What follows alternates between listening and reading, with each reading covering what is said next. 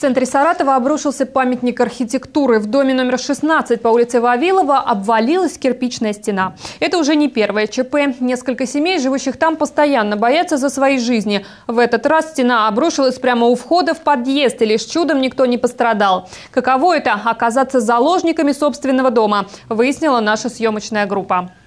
Вот у нас здесь вот окно уже отошло от стены. Вот здесь вот залепляю вот шириной, не знаю, сантиметров, наверное, 10. Вот уже за, за это. А сегодня, когда обрушился, вот уже стена, это, вернее, раму вот еще больше потянула за собой кирпич вниз.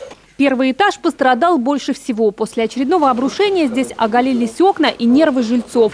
Кирпичная кладка, которая скрывает сгнившие деревянные стены, теперь украшает вход во двор. Александр в момент обрушения был дома. Говорит, слава богу, что в этот момент никто не проходил под окнами. Я услышал, да, что упал, выглянул в окошко, смотрю, лежат опоры уже. Думаю, ну если лежат опоры, вышел, посмотрел, никого не завалил ли. Вот они от э, подпоры ставили в том году, а стена мокнет, постоянно наливается. Все, она вот...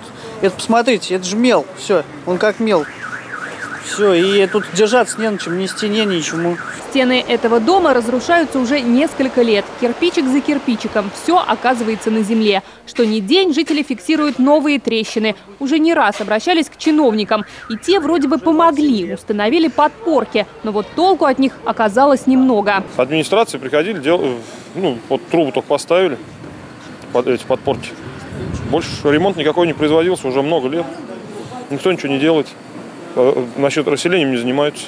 Никому ничего не надо. А ваш дом признан аварийным? Да, он признан аварийным, но он памятник. Его нельзя сносить.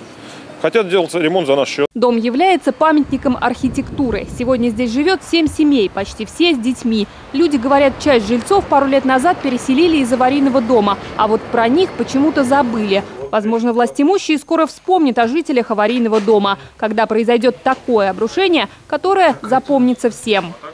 Елена Губенкова, Максим Пустовалов, РЕН-ТВ, Саратов.